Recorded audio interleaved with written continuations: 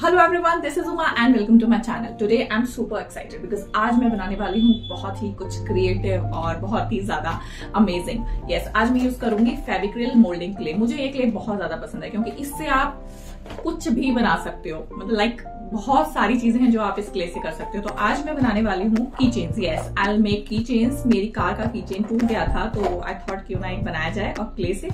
तो गाइस इसमें actually I show you क्या होता है। इसके अंदर होते हैं ये दो कॉम्पोनेंट्स ये हार्डनर है और this is I guess it's resin based clay it's a clay और इन दोनों को हार्डनर को और इस रेजिन को हम मिक्स करते हैं आपस में।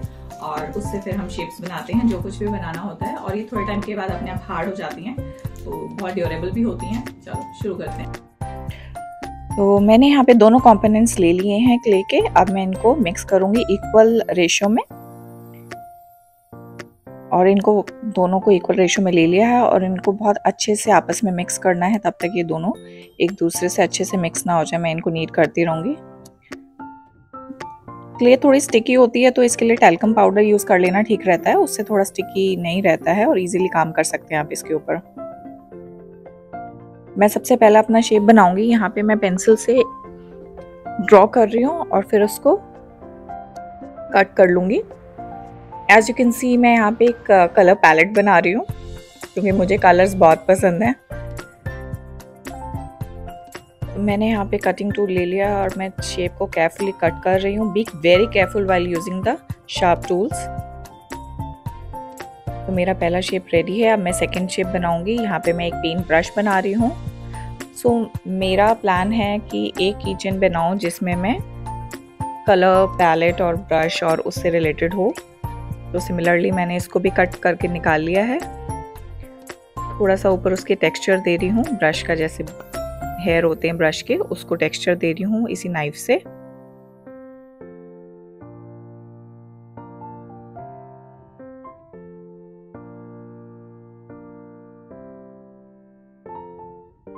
सो so गाइज़ यहाँ पे मेरे पास कुछ कटिंग टूल्स हैं, इस तरह से हैं जिसमें कुछ फ्लावर्स और लीव्स की शेप है और मैं इसकी हेल्प से शेप्स कट करूँगी। ये मैंने अमेजोन से ऑर्डर किए थे, इसका लिंक मैं डिस्क्रिप्शन बॉक्स में डाल दूँगी। ये बहुत ही ज़्यादा हेल्पफुल है अगर आप क्ले से काम कर रहे हैं तो। और इसमें लीव्स के ऊपर बहुत ही सुंदर पैटर्न भी बन के आता है। तो इसी तरह से मैं सारे शेप्स कट कर लूँगी। अभी मैं पेंसिल की हेल्प से इसमें होल कर लेती हूँ, क्योंकि एक बार ड्राई हो गई क्ले तो हम होल नहीं कर पाएँगे तो अभी होल कर लेना ठीक है। इसी तरह से मैं और कुछ शेप्स कट कर लेती हूँ। मैंने फ्लावर्स और हार्ट की शेप्स कट करी हैं।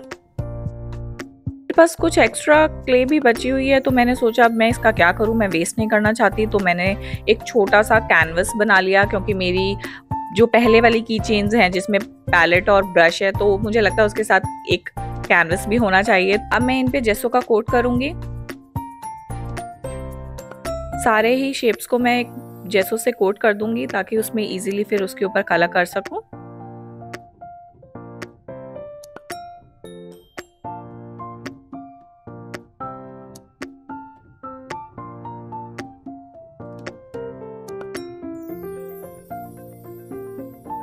सारे शेप्स कवर हो गए हैं। अब मैं कलर करना शुरू करती हूँ। सबसे पहले मैंने अपनी पैलेट को कलर करना शुरू किया है।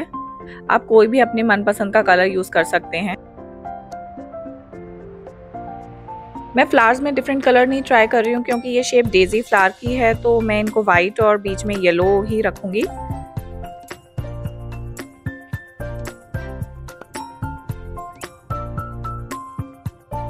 तो मेरा जो थर्ड की चेन है, उसमें मैं हार्ट्स हैंग करूँगी और उसमें मैंने कलर करना शुरू कर दिया है। यहाँ पे मैं पिंक के ही डिफरेंट शेड्स यूज़ कर रही हूँ। पिंक बहुत ही क्यूट लगता है। कोई भी कलर यूज़ कर सकते हैं, पर हार्ट में आई फील कि पिंक सबसे ज़्यादा बेस्ट लगता है। अब मैं अपनी कलर पैलेट्स पे जो कलर्स हैं, उनको कलर दे देती हूँ। यहाँ पे मैं सारे प्राइमरी कलर्स दे रही हूँ। ये कलर पैलेट तो मुझे बहुत ही ज़्यादा क्यूट लग रहा है।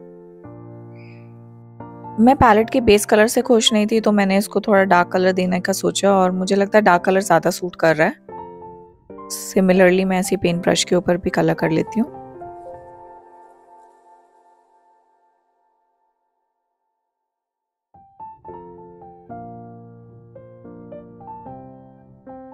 अब फटाफट से हम अपनी लीव्स को भी कलर कर लेते हैं। ये छोटी छोटी शेप्स पे कलर करना बहुत ही टीडियस काम है, पर मुझे मज़ा आता है।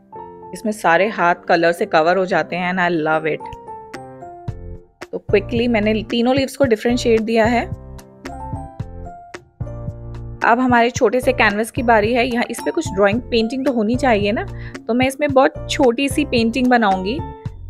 Sky with a green field और उसमें कुछ फ्लावर्स मैंने सोचा है। और थोड़े से क्लाउड्स भी।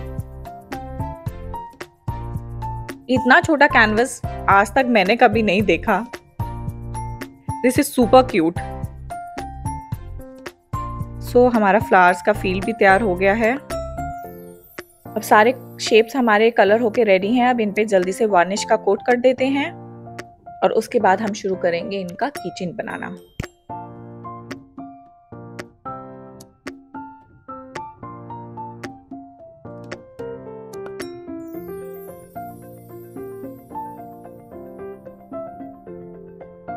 फाइनली मेरे सारे पार्ट्स तैयार हो गए हैं, इन्हें कलर कर लिया है वार्निश का कोट कर लिया है और अब ये ड्राई हो गए हैं। अब मैं असेंबल करूँगी। मेरे पास यहाँ पे कुछ ऐसी चेन्स हैं जो मैंने रखी हुई थी इनको असेंबल करने के लिए। इनसे मैं की चेन्स बनाऊँगी। तो चलो, जल्दी से अपने की चेन्स को असेंबल करते हैं। अब मैं जंप लूप्स की हेल्प से, जो हमारे पार्ट्स हैं, उनको शेप्स हैं, उनको मेन रिंग के साथ अटैच करूँगी।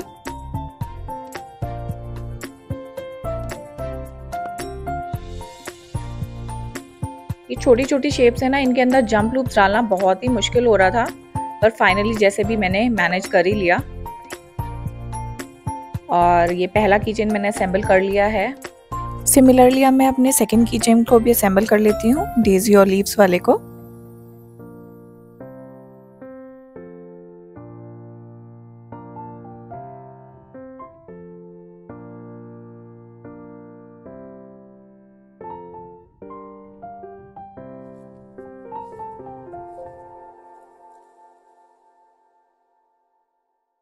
बहुत सारी मशक्क़त और मेहनत के बाद फाइनली दो की चेन्स रेडी हैं। अब थर्ड को थर्ड का थोड़ा सा मुझे वो प्लेन लग रहा था तो मैंने बॉर्डर पे गोल्डन पेंट से थोड़ा कलर देने का सोचा है।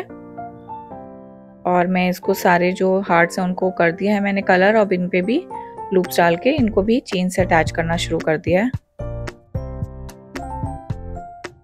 मुझे सबसे ज़्यादा तकलीफ़ हो रही है इन रिंग्स को, ये शेप्स के जो होल्स हैं उनके अंदर डालने में। शायद होल्स छोटे रह गए और ये रिंग्स डालने में दिक्कत दे रही हैं।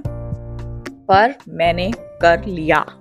फाइनली मैंने रिंग्स डाल ली हैं और उनको मेन चेन के साथ अटैच कर लिया है। छोटे छोटे हार्ट्स रह गए हैं तो उनको भी जल्दी से कर लेती हूँ। और इस वाली की चेन में ना मैंने ना छोटी छोटी ना बेल्स लगाए हैं, घुंघरू। और वो बहुत ही अच्छे लग रहे हैं, उनकी आवाज़ बहुत अच्छी लग रही है। तो इस तरह से कुछ तैयार है। एक रह गया फाइनली इसको भी लगा लेते हैं। So here it is all set finally मेरे तीनों किचन्स रेडी हैं और मुझे इन्हें बनाने में बहुत ही मज़ा आया। आप जल्दी से कमेंट करके बताइए आपको ये प्रोसेस कैसा लगा और आपका फेवरेट किचन कौन सा है? So guys this was all about today's video do let me know in the comment section की आपको आज की वीडियो कैसी लगी। अगर आपको वीडियो अच्छी लगी है तो वीडियो को लाइक करें और चैनल को सब्सक्राइब करें। Thank you for watching see you next week